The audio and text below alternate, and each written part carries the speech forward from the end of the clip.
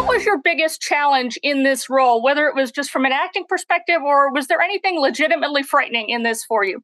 I would say the biggest, I've never done a horror film before, and I didn't realize or I didn't anticipate how, at the end of the day, you know, you're coming in hot in the morning doing these heightened scenes where we're crying and screaming and everything.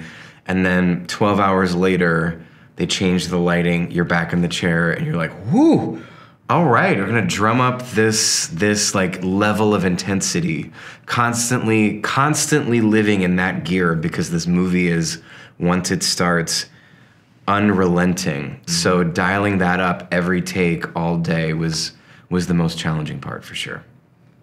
That and working with Ben, who's incredibly difficult. I was gonna say, Ben, was that similar for you? Do you have to kind of get into that headspace and stay there?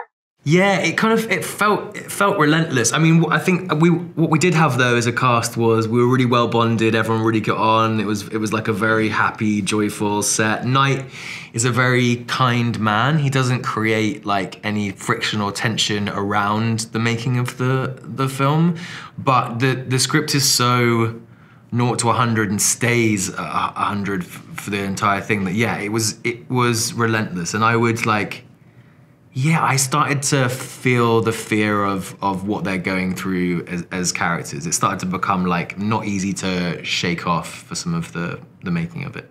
And the way that it unfolds is very much like a play. So, did that help either of you as you were going through it? It was nice that we got to shoot it. Night shot the whole thing in order. So, in that way, normally on a film or a TV show, everything is all over the place and you're shooting completely out of order. But the fact that we got to start pretty much for the most part at the beginning and go to the end helped kind of build a through line. So I, I hesitate to ask because I know the, the book and the film vary quite greatly. Did either of you take the time to actually read the book, or was it like, hey, this is its own thing; it needs to stay its own thing?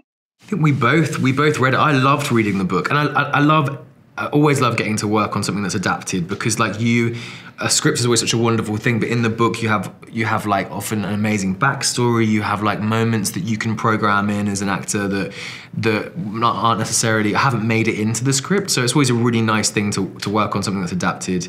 And I loved reading the book. And I think it's actually even though there are some major plot points that are, are different because Night has very much taken his own spin on this of course um, it's very faithful to the book in in atmosphere and intention, and as far as the action goes, it's very faithful. So.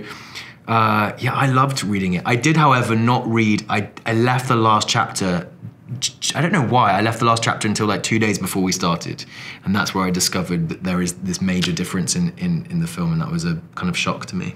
Thank you, gentlemen, for taking a couple of minutes to hang out with me. I appreciate it. Thank, Thank you. you.